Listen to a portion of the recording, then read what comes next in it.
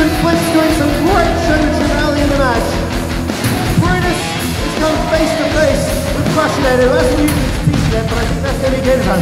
Twitch is back up and fighting, smacking himself into the... Oh, we've lost a wheel.